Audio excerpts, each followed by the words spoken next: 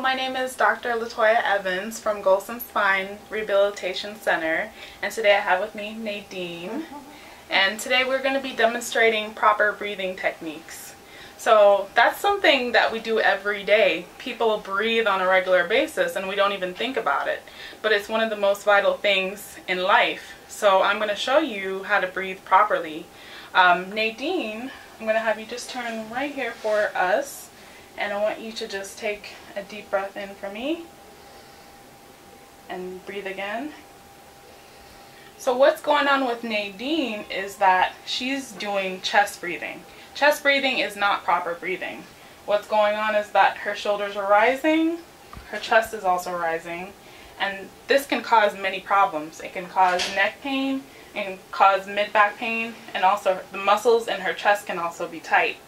So what I want to do is demonstrate the proper way to breathe. So Nadine, can you sit on this bed for me? You're going to put one hand on your chest and one hand on your belly. And I just wanted to mention also that um, babies, they typically breathe normally and they do the right sort of breathing, which is called abdominal breathing or belly breathing.